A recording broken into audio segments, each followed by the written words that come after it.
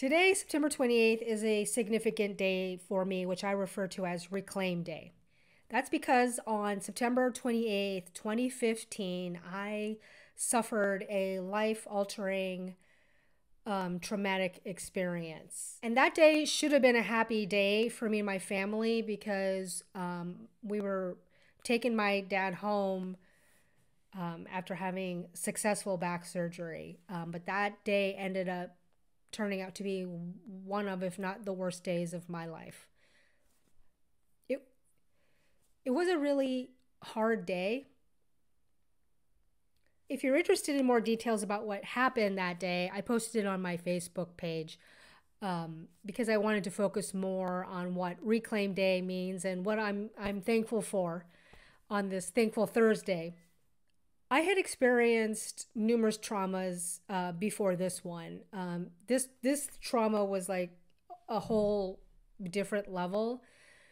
And one of the things that just happened, I, I don't know, I just refused to let this trauma define me. Um, I refused to have yet another victim or trauma story added on to all the bunch of other victim and trauma stories I had. So I decided to use alchemy and reclaim that day and make September 28th about me and reclaiming my power and not letting a trauma or a person take away that day from me or to let that experience take away me living a life of joy and happiness and pleasure and and you know not living in constant fear. I had done so much that in my life and i didn't want to do that anymore. And so i decided you know what?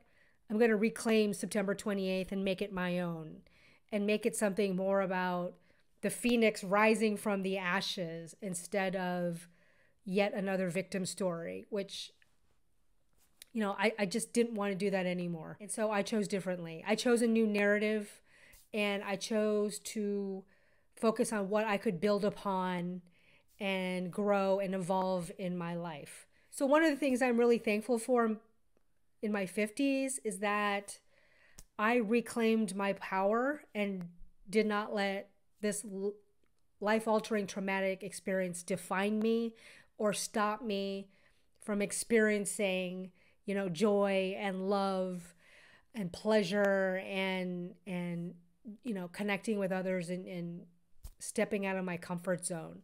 I wasn't going to live in fear. You know, I woke up this morning and I just was really, you know, proud of myself. And I was like, Steph, like I hugged myself and, you know, said, I'm proud of you. You didn't let this experience define you. Yes, you still have, I still have some issues and healing I'm working on because of that experience. But overall, um, it could have went really differently. And I chose to reclaim that day and make it about me um, and my joy. And so for all that, I am thankful.